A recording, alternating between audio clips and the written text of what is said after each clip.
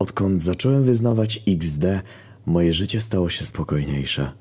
Nie denerwuję się już prawie wcale. Kiedy spotykają mnie sytuacje stresowe, myślę sobie XD i wszystko staje się prostsze. Naprawdę. Polecam ten styl życia. Wcale nie robi ze mnie lenia, tylko osobę, która nie denerwuje się z dupy tak jak kiedyś. Kolos? XD. Prezentacja przed w chuj dużą grupą nieznajomych ludzi? XD. Wyjebali z roboty? XD. Wyśmiała cię jakaś laska na imprezie? XD. Zrobiłeś coś pojebanego? XD. I od razu lżej. I można się wziąć za siebie, a nie płakać czy się wkurwiać. Uczucie 10 na 10.